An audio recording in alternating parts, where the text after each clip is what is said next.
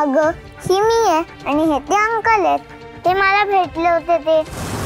मामीने घेतलेलं दिसते गिफ्ट. मामीने नाही आजू. माझ्या गोबरे अंकलने घेतले. गोबरे अंकल हे काय नाव आहे होय? त्यांचे गाय गोबरे आहेत म्हणून. ते मला लिटिल एंजल म्हणतात. मला ते खूप आवडतात हाय लिटल एंजल ए.